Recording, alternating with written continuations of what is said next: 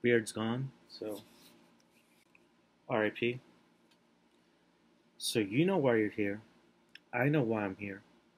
We're here to talk about the last episode of Tokyo Revengers, episode 24, that finished off season one. So let's get into it. A lot of spoilers coming up, so you've been warned.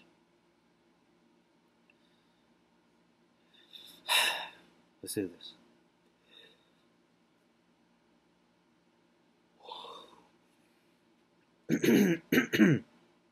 so Mikey comes out, uh, introducing Chifuyu and Hanma. Him giving Hanma a chance to like talk and kind of air out Valhalla's grievances. That's a class act, and that would not have been reciprocated if Toman lost and Valhalla had won. Kisaki, my man, not my man, definitely not my man. This guy, he keeps taking the dubs. He's like Funimation, like just dub, dub, dub, dub, dub, dub, dub. You would, if you told me that he could time travel too, I would believe it. Because my man Dub Master Flex. Takemichi, my my guy is having a whole panic attack over the ascension of uh, Kisaki. I get it, man. Before this, he was a little bit overreacting. He was a little bit OD. But now, I get it. We'll talk about that in a few minutes. Chifuyu is a whole ride or die. My guy he proved it twice this episode. This first time, you know, when he announces Takemichi. The second time, y'all know where I'm going with this, and I'll talk about that soon. Of course, of course, Takemichi cries when he's named First Division Commander. Like, it wouldn't have been the same if he didn't cry. My man's is a crybaby, the crybaby, crybaby hero. And I just want to remind everyone I want to take this minute just to kind of slow things down and just take a minute to remind ourselves that these are high middle school kids. I was at high school. No, they're not high school. They're middle school children running around Tokyo on fucking motorcycles and killing each other. Middle school kids. Okay, so present timeline. Yamagishi man's looking like a whole snack, man.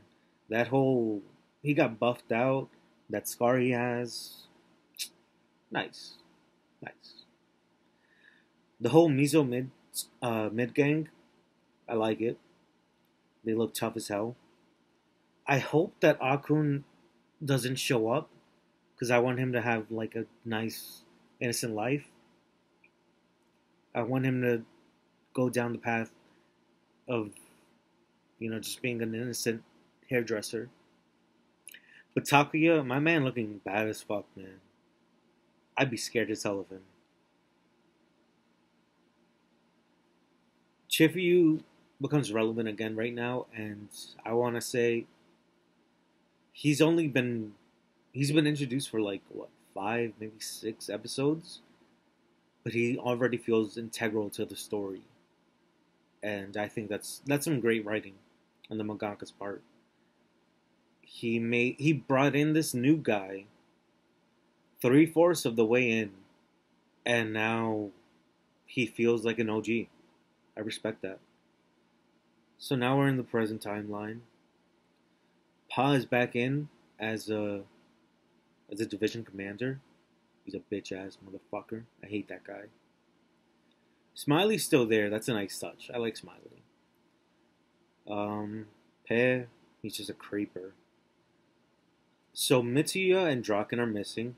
Shiva and Kokonoi Inui are new. I guess that's going to be from the time that's coming, the arc that's coming with uh, the Black Dragons. I miss Mitsuya. He was low key, but he was he was he was a cool guy. And Draken, R.I.P. man. The new generation seems to be more gung ho. Um, they're more in your face, and they they pretty much said that they're the ones that are investing into the treasury funds, and the old guard are just sitting around, you know, on their fat asses.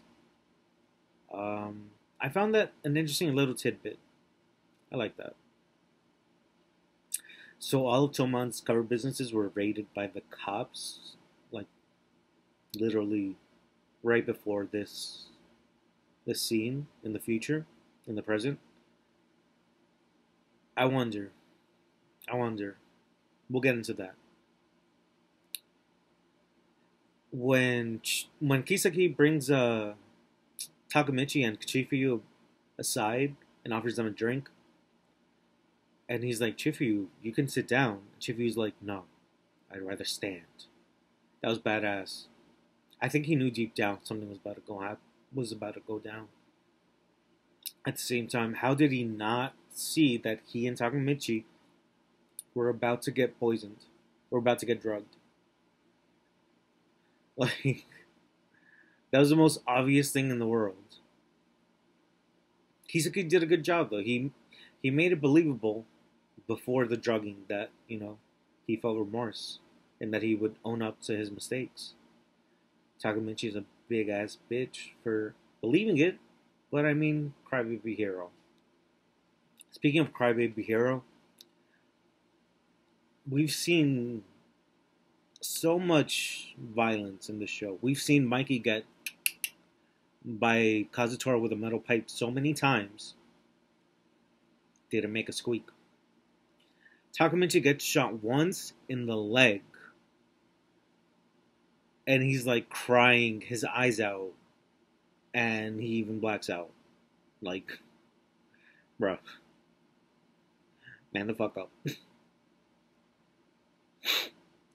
this guy has like no defense skills at all. He put no no skill points in his defense trait.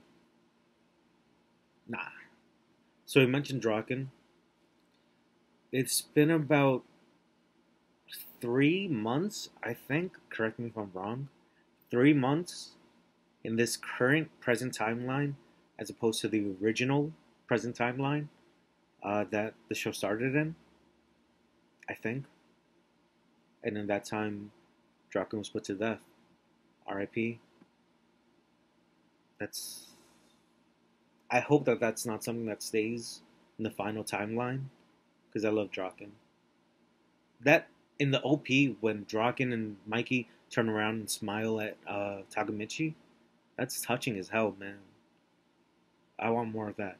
I want a future where they just they're all friends and they just you know go out and beat other biker gangs up and just you know, have a nice life. That's what I want. It's a shonen, so that's the goal too, right? This whole episode was like a mafia movie. I mean, the clothes, the personalities, the dichotomy between the old gen and the new gen, like uh, Godfather Part 3. The clothing, the setting, the ambiance, everything. It was like a mafia movie, and I love it. The ending, Chef's Kiss. Chef's Kiss twice. Amazing. Chifuyu, he was a hardliner. He was he was Baji 2.0. He was Baji's son. And he kept the fight going. After 12 years, he kept the fight going against Kisaki. And he tipped off the cops. He did a taboo amongst delinquents, but he did it and I respect that. And RIP, he gets he gets killed like a rabid dog. It's sad, and I hope that this isn't the final the final timeline. Kisaki shedding a tear when he uh, asked Takemichi if that's all he was, if you know his hero. That was that was touching. I don't know if if Kisaki was being honest or not when he did that. I choose to believe he was. And it's like this guy's a monster across several timelines. Like there's no future in which he's a good guy. And he's crying and he's like, This is all you can do? My hero? This is it? You couldn't stop me? And then the ending, it reminds me of Cowboy Bebop. But the ending, the credits roll, and then you hear the gunshot. I've gotten some spoilers. Uh, some people I know have, you know, told me about what's gonna happen, and I've seen some stills of the manga. But damn, it's gonna be so good. um, I can't wait for season two. I can't wait to be waiting on Saturdays at 2:59 p.m. on Saturdays. Just like, come on, come out, come out, come out, new episode, come out. I can't wait for that. It's gonna be lit. So, season one of Tokyo Revengers is over. Some highlights: Mikey being literally invincible. He hasn't lost a fight this entire time. I just, oh my god. Baji being the oest of G's. He knew that Kisaki was a threat, and he just he went after it, and he saved Takemichi's ass by beating him up uh, when Takemichi uh, punched Kisaki at his uh, coronation as third division commander. He saved him from something worse. That was never acknowledged or stated in the show, but I I want to show props to that. Draken, bro, Draken was he was the man. We should all wish to find our own Draken. Also, he was six foot at seventh or eighth grade. That's kind of crazy, especially in Japan, where the average height is like five four or something for an adult male. So that's just my observation as a very short guy. I thought that was interesting. Do with that what you will. And Kazutora, there was this meme. If I find it, I'll post it here. Where it's like, it's a picture of Kazutora. It's like, this has to be the dumbest motherfucking reason to become a villain.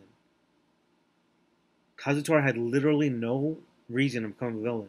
But he's like, oh shit, I did something bad for in the name of somebody else. That means I have to kill that somebody else. What? And then that that expands into Baji as well. Kazutora is a dumbass motherfucker. I mean,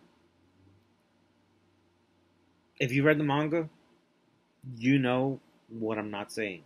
What I want to say, but I'm what I'm not saying. We'll leave it at that. But yeah, the show was the show was amazing. It's one of my it's one of my favorite new gen shonens. Um, I went into it thinking, oh, it's a knockoff of Erased. And I won't lie, I still think that. To certain to a certain extent. To a certain extent, I still think that. But I like it. It was a good show. It it was a good show. It held its own. It was a worth. It was worth the watch. I like it. So yeah, this is my review of episode 24, and I guess the series in general, kind of. And if I had to recommend, you know, a number between one, one and ten, I'd say this was a solid eight. Yeah, it's a strong show. It has its soft moments. It has its hard moments. It has Mikey being an insane badass. Even though he's not the MC, he's still the invincible major character. And yeah, I recommend it. I like it. I'm glad I watched it. I'm tempted. I'm so tempted to read the manga because I want to keep going but at the same time, I'm satisfied with the anime. So as long as the next season is announced relatively soon, hopefully for next year, I think I could wait. I think I can hold off. So yeah, Tokyo Revengers, episode 24, season finale. Yeah, You know what I'm gonna say. You know what I'm gonna say. Just exit out of the video out of the video already, because this hurts me. But please like and subscribe. I'm a small YouTube channel. I want to grow. I want to keep talking about anime. So yeah. Like and subscribe. Hopefully one day I won't have to say that. But yeah, I'll see you guys next time.